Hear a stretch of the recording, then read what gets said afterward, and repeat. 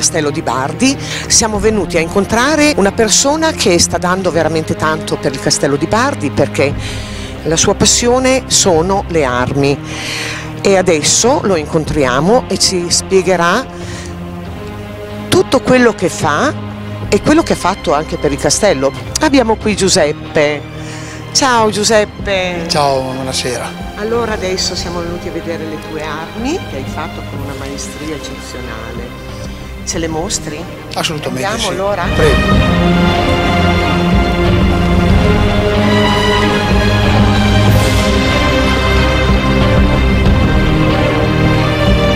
Tutte queste opere che tu hai donato al castello sono state fatte da te? Sì, tutte le armi che vedete nelle vetrine sono fatte da me, una mia creazione durante la pandemia.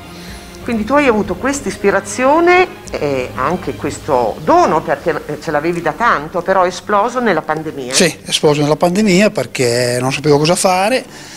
Era tanto che pensavo di fare qualcosa del genere invece che comprare armi per mettere in castello che costano. E detto me le faccio io e le metto in castello. Su disegni originali medievali ho fatto questi, queste spade, questi pugnali, questa scure da guerra, mazza ferrata, ho fatto un po' di tutto, insomma, mi sono Ascol- adattato. Ascolta, ci puoi eh, descrivere un po' queste armi che hai fatto? Partiamo da, da- da questa arma qua, questa- la prima è un cavaliere del XII secolo, come potete vedere le- non ha tante, ha solo una maglia di ferro, non ha nessuna tunica sopra, nessuna protezione ferrosa più pesante.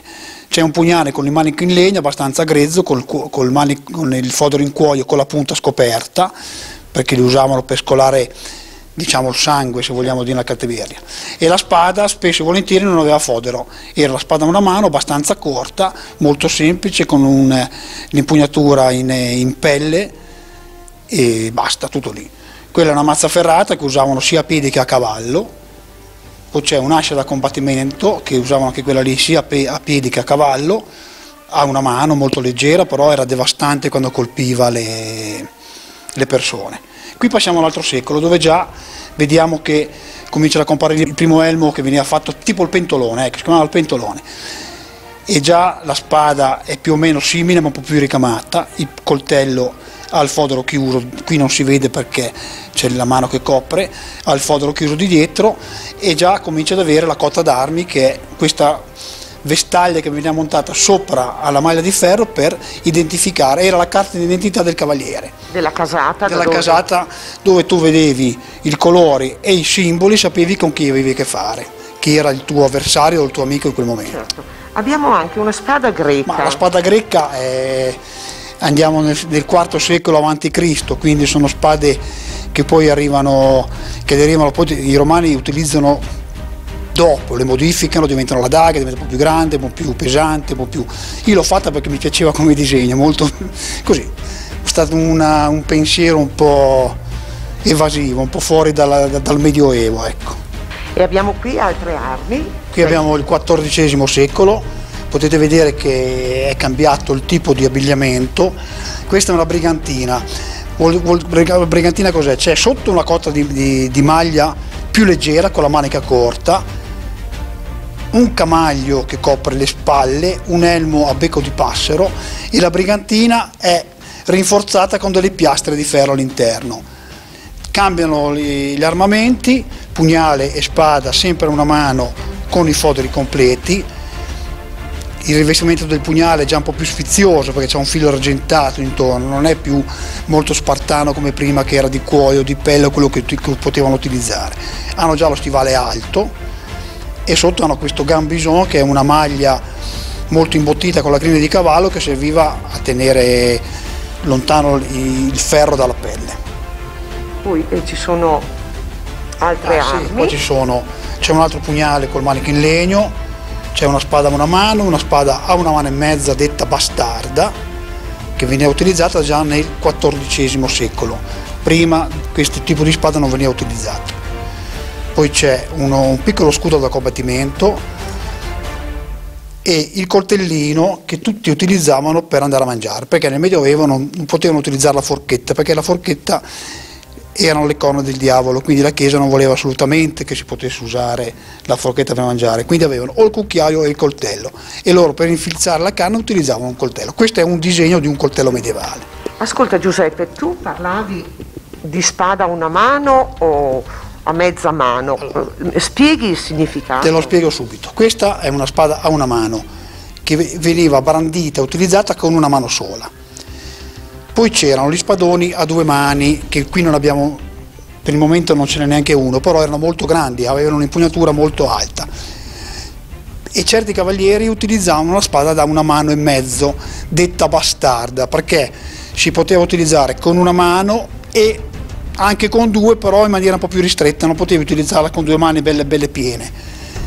E è stata una delle spade più, più usate dal 1400 in avanti perché anche nel, già nel 1600-1700 esistevano le spade bastarde, definite così. Qui possiamo vedere l'esempio di, di un'altra spada a una mano e mezzo bastarda che è questa qua. Con un pugnale che anche questo è abbastanza grande. Sì, questo già, è già una mezza daga se vogliamo, sì. un pugnale un po' più, un po più lungo di, quello, di quelli normalmente usati perché quando si difendevano potevano difendersi anche sia col pugnale che con la spada, con due armi pugnate nelle, con due mani completamente di, in contemporanea. Però già in questo secolo compaiono i primi protezioni metalliche. Questo è un panciotto metallico eh, tenuto su conto dei cinchi che serviva a trasformare il primo giubbotto antiproiettile, se vogliamo. La, il primo giubbotto antiproiettile il guanto ha già le dita tutte rinforzate con, eh, con le parti in metallo e l'evoluzione, la cotta di maglia è più corta, la manica è più corta, l'evoluzione delle armi e dell'equipaggiamento militare è così, l'elmo è più piccolo, più leggero, però permetteva anche una bella protezione lo stesso. Bene, proseguiamo.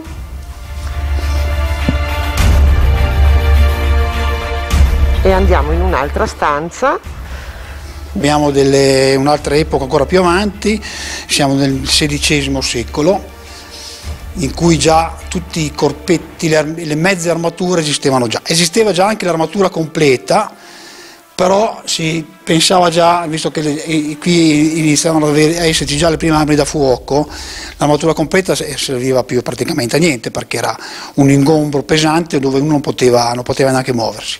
Quindi eh, arrivano questi primi elmi tipici spagnoli, italiani, i primi colpetti dove uno poteva essere protetto da un colpo di proiettile perché erano fucili abbastanza deboli come potenza. Alabarde che utilizzavano probabilmente per i combattimenti d'arma bianca ancora. E ci sono sempre i famosissimi coltellini. I famosissimi coltellini che questi li usavano sempre, questi li utilizzavano sempre in qualunque epoca. E quel, ehm, quell'arma, diciamo, perché sicuramente è un'arma che sembra un martello. È un'ascia da guerra che quella lì. Veniva utilizzata sia per spaccare che per forare. Quindi doppio uso. Doppio uso, assolutamente. Sì, queste le utilizzavano già nel Medioevo. Eh. Queste sono armi che, come quella che vedi là, quella coltellaccio là, sono, sono, armi che non hanno subito l'evoluzione tecnologica, hanno sempre usate i poveretti, chi non poteva permettersi armi più sofisticate usavano quello che avevano, usavano anche questi tipi di armi. Diciamo che in un combattimento all'arma bianca qualunque tipo di arma andava bene, basta che tagliava sì. e che pungeva. Benissimo, proseguiamo ancora perché ci sono tante cose sì. interessanti da vedere che hai creato. Beh, qui eh, dunque, in questa vetrina abbiamo le armi da lancio, abbiamo una balestra che è quella centrale piccolina, che è una balestra del, XI secolo, X-XI secolo. La particolarità è che è tutta legno e corde. L'arco che vedete in alto non è di metallo, è di legno e le corde che ci sono avvolte tra l'arco e, il corpo della balestra sono quelle che danno la torsione al lancio della, della, del dardo. La particolarità è questa, che questa balestra non l'ho fatta io, l'ha fatta mio figlio. Possiamo dire come si chiama tuo figlio? Nicolas. Nicolas, bravissimo, preso da papà direi. Sì, ma l'ha fatta quando ero ragazzino, adesso non la fa più, si vede che deve crescere ancora un po' prima di fare altre. Certo, poi abbiamo una, un arco enorme. Questo è un arco in bambù, non è in tasso come, come erano i famosi archi inglesi, però è un arco che ha una potenza di 16-18 libre, non è, non è, male, insomma, funziona bene, tira abbastanza, abbastanza potente. E, abbiamo altre cose? Sì, abbiamo una faretra, dei bracciali d'arciere, dei copribracci d'arciere che anche questi qua ha fatto mio figlio con il cuoio cose che ha fatto da ragazzino che adesso non fa più perché si vede che quando arriva ai 30 anni poi queste cose qua ci dai un po' di... Ma magari poi fa come eh, poi magari torna, dopo magari ricomincia Riprende. a farle, certo. Bene, allora andiamo a vedere anche questa armatura. Questa è un'armatura del 1005, come puoi vedere dalle, dalle ammaccate che ha, è, una, è un'armatura completamente funzionante, nel senso che è stata utilizzata per combattere e le, le ammaccature lo dimostrano la spada ovviamente l'ho fatta io perché eravamo, non c'era, è una spada a una mano, perché usando l'armatura una spada a una mano è più pratica da utilizzare che quella con due mani. Visto che queste spade, queste armi sono molto molto belle, hanno però eh, quasi tutte uno stemma nell'impugnatura. Sì. Come fai a creare questi stemmi eh, sull'impugnatura? Beh, vengono fatti a mano vengono fatti a mano, sì, con uno scappellino, una piccola penna elettrica, perché adesso ci sono le penne elettriche, meno male che ci sono, così riesco a fare dei disegni di qualunque tipo, insomma. Adesso cosa ci fai vedere? Adesso faccio vedere la, la novità di quest'anno che abbiamo creato il Cavaliere Templare con il cavallo. Benissimo, andiamo.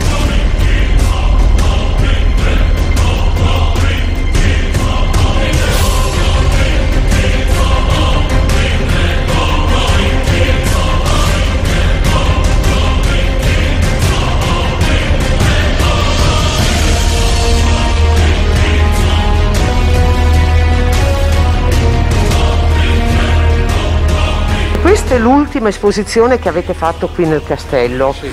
e rappresenta i Templari. Rappresenta la storia dei Templari, che è uno dei corpi cavallereschi più famosi al mondo. Durati solo 300 anni, però hanno creato un, eh, un entusiasmo, una storia impressionante. Quindi ho detto, quest'anno pensando, pensando con le, il presidente della cooperativa, con altri amici che collaborano, abbiamo pensato di creare il cavaliere templare con il cavallo come poteva essere, come era effettivamente in, delle, in questo periodo. Perché abbiamo fatto questo? Perché i templari e bardi sono passati. C'è un esempio, ci sono delle eh, fotografie, ci sono delle, de, dei documenti che indicano che i templari e bardi ci sono stati hanno avuto un passaggio, probabilmente c'era solo un ospedale di templari e bardi, però ci sono stati. Allora abbiamo creato questa cosa, anche per per il fascino stesso del, del cavaliere, del templare, sempre affascinato sia i grandi che i piccoli.